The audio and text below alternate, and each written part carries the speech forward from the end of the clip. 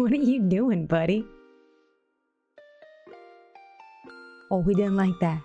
I'm making an update video today, and it is based on the do's and don'ts of, you know, entering this PC world for the first time. It's been exciting to say the least. Um, um, this is not a G Skills hate video. I was gonna, I'm gonna throw it out there. I don't, I don't hate G Skills. I just have some criticisms because of my bad luck. So sorry, don't, don't. It's gonna be a quick little video I hope to put out um, sometime during the last week of April. So if this video is coming out in the end of April, then I, I, I stayed to a somewhat schedule um, of putting out about a video a week, and that's awesome. So if you if you are enjoying the content, um, you know what to do at this point, don't you?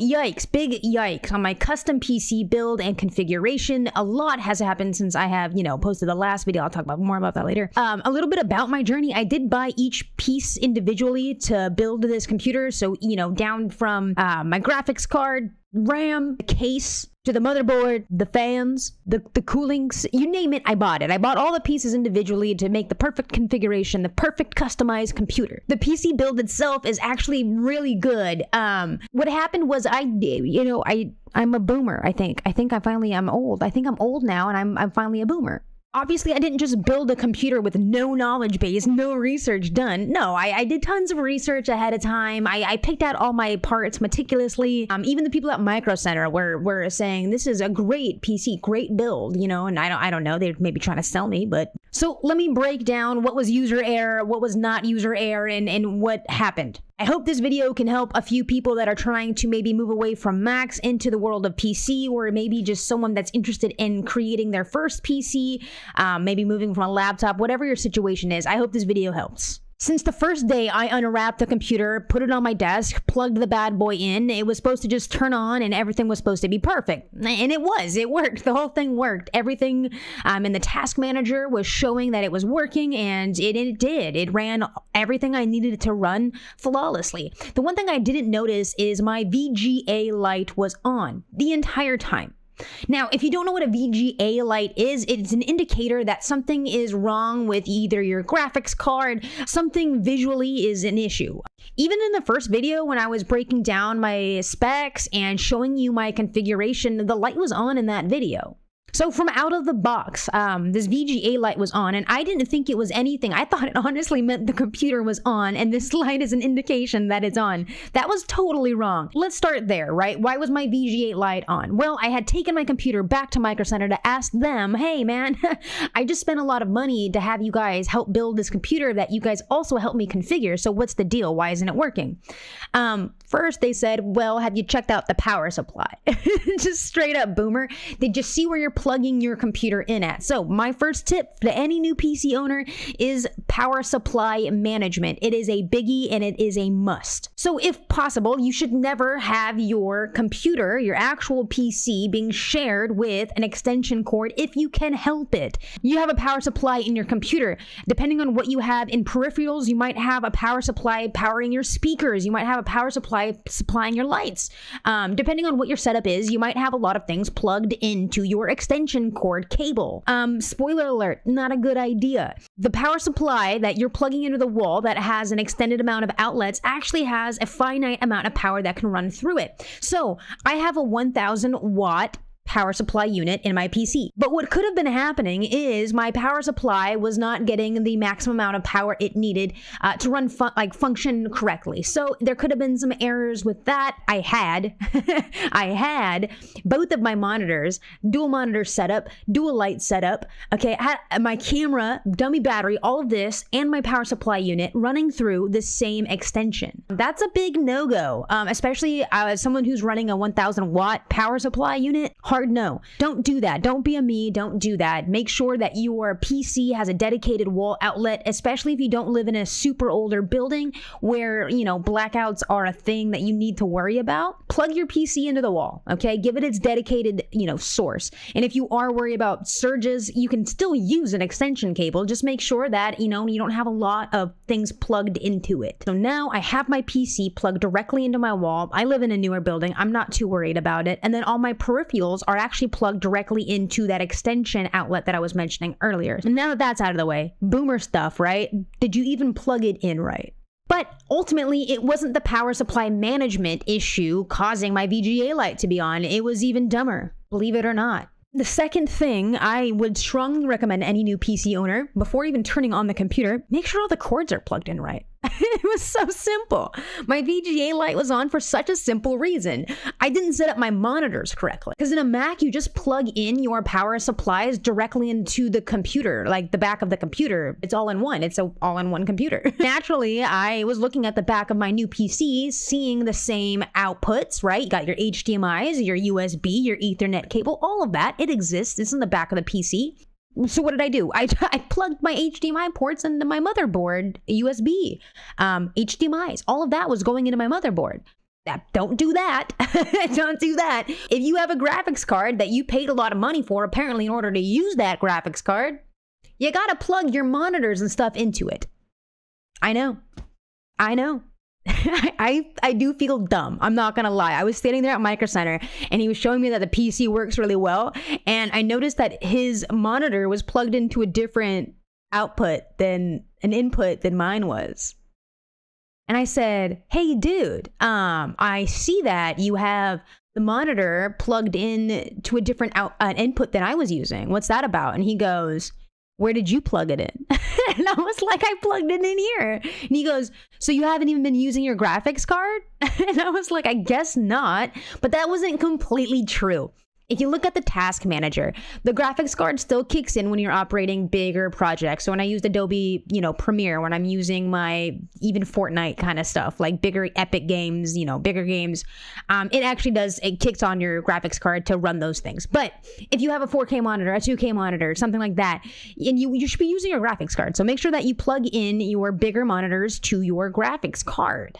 Um, that's going to give you that maximum amount of performance. So that's what I did wrong. And as soon as I I switched my HDMI port from the um, from the HDMI that is native into the motherboard and I moved that to the graphics card, it all fixed the issue. My VGA light automatically went off. No one had to mess with anything. So uh, that would be the second recommendation, right? For any new PC owner, just make sure that you are hooking up all of the peripherals the way that they're supposed to be. So those were the user error, right? The two things that I messed up on was my own was power supply management, and then the second one was hooking up all of the things um, properly into the PC unit, right? So um, now for the Enigma. Oh my God, talk about bad luck! Yikes. Um, okay, now for the stuff that was not my fault. because there was a lot of things that does it wasn't my fault. And apparently, Micro Center, my friends who are experienced PC owners, all said you have the worst luck. Which is unfortunate because this is my first PC. So having the worst luck and experiencing all of the hiccups early on isn't ideal for someone who doesn't know how to deal with it. So um, shout out to Nick, you know who you are. Help me out through a lot of this one on one.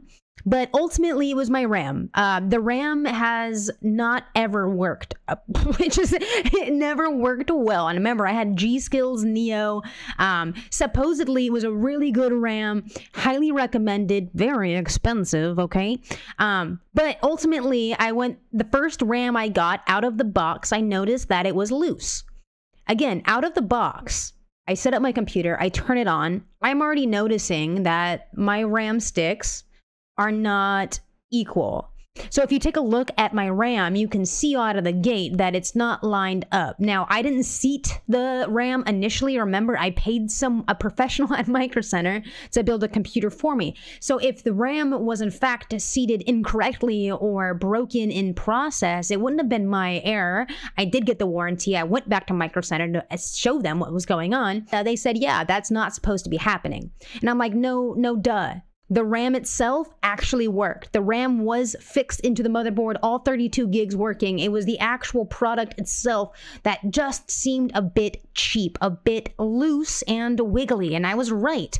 Um, the whole thing fell out. So we have the heat sink and the spacer, they all fell out. Let's fix it. So they replaced my RAM. Very nice, very easy, smooth sailing. Always get the warranty, dude. I know it's expensive, but especially if you're a new PC owner, you know, it's worth it. Um, so I got my RAM. Micro Center said, This is an Enigma, super bad luck. Here you go. Here's some new RAM. Take it home and get her done. So I did. I took my RAM home, I watched the necessary YouTube videos, and I fixed my RAM. Again, at no point did the RAM not work. It, was the spacer and the heatsink that had fallen off due to bad adhesion. Not my fault. It's definitely a manufacturer error. So um, second RAM. I got my second RAM. I'm super stoked. It was free, new. Let's go. I put it in, uh, opened up my task manager after firing everything back up, and it's working all 32 gigs. So I've successfully replaced my RAM for the first time as a PC owner. Uh, I was super thrilled. The next day I go to my computer. Man, it, it's it's falling again. It it looks like it has fallen out again. Not as severely this time, still unsure what's happening. So I obviously went back inside of my computer to see what was going on.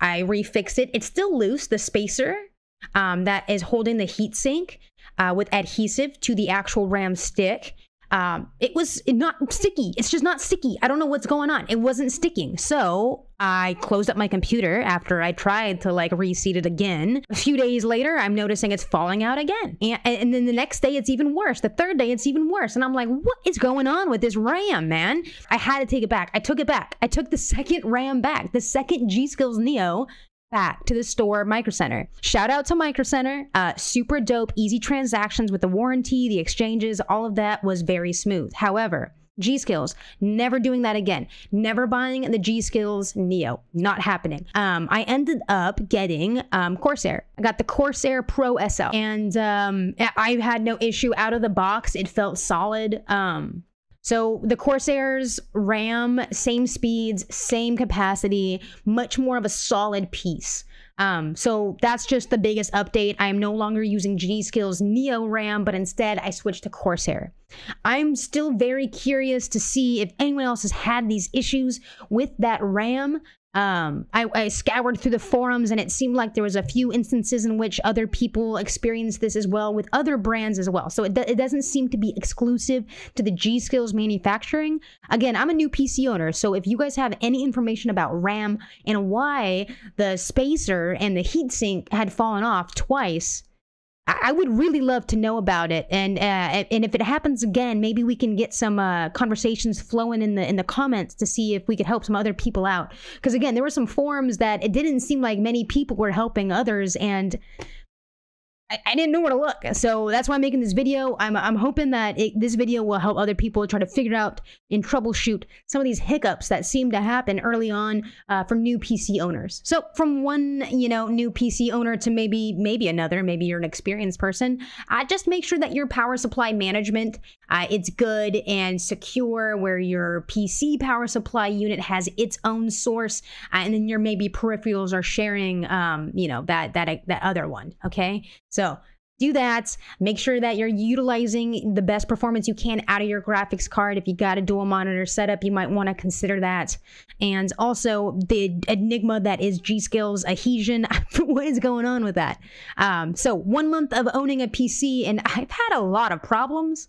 Um, I'm glad I'm learning a lot about the PC. I'm definitely developing skills that I never thought I'd, I'd have.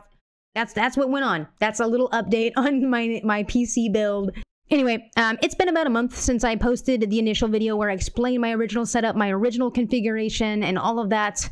So you can go check that out here. Probably it'll be here. Here, you can check out the video here. um, and in this video, I will be I, I, I explain transparently the breakdown, the pricing, the configuration, and everything in between. So go check it out. And if you like this super quick and fast video, you know what to do. You can check out that video or that video. Or you could like, subscribe, in comments to see more content from me. V.